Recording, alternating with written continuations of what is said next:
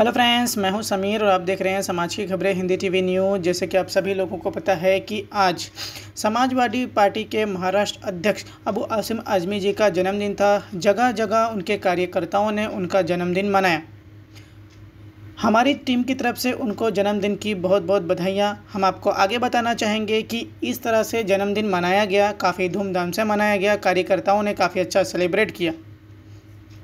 लेकिन कोरोना काल का ये सेकेंड वेव चल रहा है। इसमें अगर अंतिम संस्कार में सरकार की पाबंदियाँ हैं कि लोग ज़्यादा जमा नहीं हो सकते, शादी ब्याह में ज़्यादा लोग जमा नहीं हो सकते, जो कि काफ़ी ज़रूरी है तो एक बर्थडे के टाइम पर कार्यकर्ता जो इतने जमा होते हैं, उनके ऊपर क्या कार्रवाई होनी चाहिए या नहीं होनी चाहिए?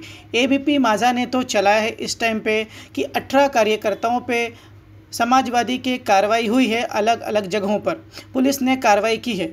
मालवनी के अंदर भी अबू आसिम आजमी जी आए। उनका जन्मदिन काफ़ी धूमधाम से मनाया गया। कई जगहों पे ऑफ़िस की ओपनिंग भी की गई, लेकिन सोशल डिस्टेंसिंग और कोरोना काल का कोई भी ध्यान नहीं रखा गया। क्या मालवनी पुलिस स्टेशन में भी उनके कार्यकर्ताओं पे कोई केस रजिस्टर्ड होगा या नहीं? या सिर्फ़ जो गरीब जनता है जो दो सौ कमाकर अपने परिवार का पेट पालती है, पुलिस स्टेशन सिर्फ़ उन्हीं पर ही कार्रवाई करेगी? या पॉलिटिशियन पर भी कोई कार्रवाई करेगी?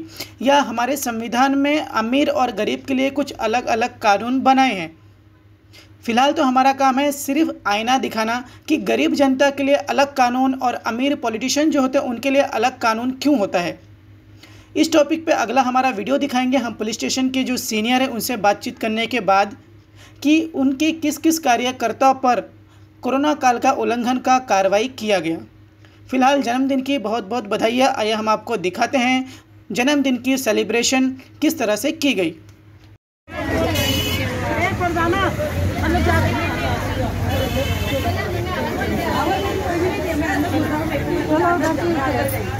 पे समाजवादी पार्टी का कब्जा हो जाए। अच्छा नासिर कुरैशी के बारे में आप क्या कहेंगे? बहुत बढ़ चढ़ के काम कर रहे हैं आंदोलन भी किए थे महँगाई के खिलाफ। बहुत नहीं मैं इनको इनको इनको बहुत बधाई देता हूँ मैं और हमें ऐसे कार्यकर्ताओं की ज़रूरत है आज। कि दो कार्यकर्ता अपने लिए नहीं बल्कि अपने देश के लिए अपने इलाके के लिए समर्पित हो और लोगों के दुख में काम आए सुख में काम आए ऐसे लोग और ऐसे हमारे नासिर साहब काम कर रहे हैं। इंशाल्लाह हमें उम्मीद है कि इनको देखकर और अच्छे लोग आगे आएँगे और यहाँ पर जो सीटें हमारी चुन के आएँगी। किस सीटें पे आप समाज की खबरें हिंदी न्यूज़ चैनल को सब्सक्राइब करें बेल आइकन दबाना ना भूले। अगर आपको अच्छा लगे तो लाइक और शेयर भी ज़रूर करें। अगर आपको हमारे साथ जुड़ना चाहते हैं अगर किसी भी तरीके का न्यूज़ या एडवर्टाइजमेंट देना चाहते हैं तो आप हमें इस नंबर पर कॉल करें। Seven triple six four seven triple one zero. धन्यवाद।